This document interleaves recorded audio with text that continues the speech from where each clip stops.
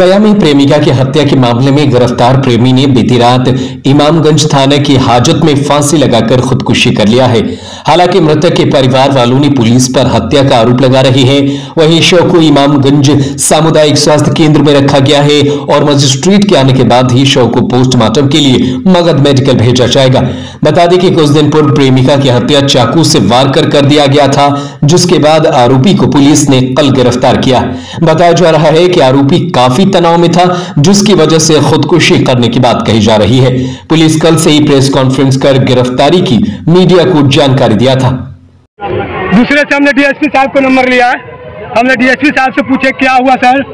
वो जो शंकर दास जो कल कस्टडी में आए फांसी उसका क्या हुआ? तो फांसी लगा के हाजत में मर मतलब गया। डीएसपी साहब आपको बताए? बताया कि हाजत में फांसी लगा करके मर गया। हाँ। कितना बताए थे? कितना बताए थे? लगभग सात से आठ बजे। मृतक कौन थे आपके? मैं शंकर दास मेरा भतीजा है। अच्छा। समझ गए? आपका क्या नाम है सर? मेरा नाम नरेश दास नाम है इसे शिव दास के नाम से जाना जाता है। मेरा घर है करहनी डुमरिया थाना। ऐसे पुकारू नाम पचरुखिया से माना माना जाता है। सूचना नहीं दिया गया। नहीं सूचना नहीं दिया गया है। आपको डीएसपी साहब का कहना है कि आपको गाड़ी मुहैया कराया जा रहा है? अब अभी कराया जा रहा है तो अब क्यों लाश यहाँ से क्यों भेज दिया गया? हम बोले हैं कि जब तक हम नहीं आएँगे लाश मत जाने दीजिएगा।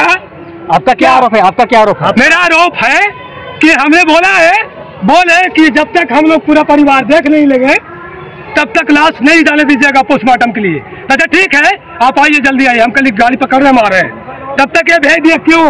तो क्या लग रहा है पुलिस के द्वारा ये हत्या हाँ? पुलिस के द्वारा हत्या ही किया गया है। लाजी लाजी अब क्या चाहते हैं आप? पानी पी लीजिए। पानी पी लीजिए पानी पी लीजिए मुकेश। चार तरीक हुई थी युवती का वहाँ शव मिला था जिसको चाकू मार के मार आ, मारा गया था। तो उसी में आ, पुलिस ने अनुसंधान किया टेक्निकल हमारा अनुसंधान हुआ जो मैनुअल इनपुट्स मिले तो उसमें पता चला कि एक युवक है जिससे उसकी बात होती थी उसको फिर पकड़ा गया और उसने पूछताछ में अपना जो जुर्म है वो कबूल किया। उसने बताया कि हाँ वो लड़की से बातचीत करता था उससे कुछ महीने पहले शादी भी किया था। फिर उससे उसकी अनबन हो गई लड़ाई झगड़ा होता था, उसी में एक दिन जब लड़ाई हो रही थी तो उसमें गुस्से में उसने उसको चाकू मार दिया। और उसी की निशानदेही पे जो उसने कपड़े उस दिन पहने हुए थे युवक ने, वो भी बरामद किए हैं पुलिस ने, और उसका और लड़की का जो है लोकेशन भी मैच हो रहा है। सारे एविडेंसेस थे उसी में उसको गिरफ़्तार किया गया था। तो आ, उसको हाजत में चौकीदार की निगरानी में रखा भी गया था। लेकिन आ, जो पता चला कल रात अर्ली मॉर्निंग आज सुबह में आ, उसमें उसने अपने जो पेंट है उसको उतारकर अपना आ, जो हाजत का गेट होता है उसमें फंदा लगाकर अपनी जान दे दी तो ये आ, आया है। और इसमें जो बाकी जितनी भी गाइडलाइंस हैं एन की हैं माननीय न्यायालय की गाइडलाइंस हैं इस प्रक्रिया में वो हम लोग फॉलो कर रहे हैं जिसमें मजिस्ट्रियल इंक्वायरी है मजिस्ट्रियल रिक्वेस्ट है आ, जो वीडियोग्राफी पोस्टमार्टम की और मेडिकल बोर्ड के द्वारा पोस्टमार्टम सारी प्रक्रियाएँ हम लोग फॉलो कर रहे हैं। और विधिवत इसकी जाँच हुई है। किसी भी अगर जाँच में किसी भी तरीके की किसी भी लापरवाही इसमें या दोषी पाए जाए तो उसमें उसके हिसाब से कार्रवाई की जाएगी।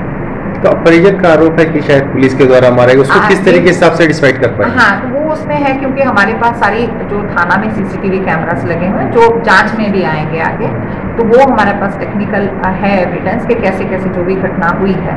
तो सीसीटीवी कैमरा तैनात उस हाजत में भी कैमरा लगा हुआ है तो उससे भी चीज़ क्लियर हो जाएगी सारी। तो उसके अलावा भी अगर कहीं कोई कोई भी लापरवाही किसी के स्तर पे आएगी तो उसके हिसाब से कार्रवाई की जाएगी। वो सोनम हत्याकांड को लेकर काफ़ी चर्चा में रहा और बवाल भी बहुत सारे हुए वहीं अब युवक के हत्या के बाद एक बार फिर से नहीं देखिए उसमें वही हम मैं कह रही हूँ कि जो अभी तक हमारे पास जो भी एविडेंसेस आए हैं उसमें ये जो मैंने चीज़ बताया वैसा ही हुआ है। और इसमें बकायदा मजिस्ट्रियल इंक्वायरी होगी इसमें तो तो उसमें अगर कहीं कोई लापरवाही है किसी तरीके की आएगी तो उसी हिसाब से कार्रवाई होगी। हाँ जी।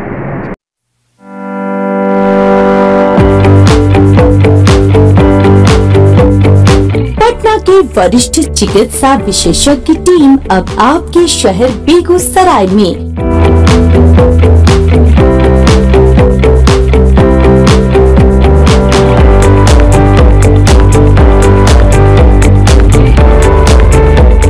अमर ज्योति हॉस्पिटल जहाँ इमरजेंसी सुविधा ICU, HDU, OT, dialysis facility उपलब्ध है। हमारा पता है Anushka I T I N H thirty one Sushil Nagar Begusarai.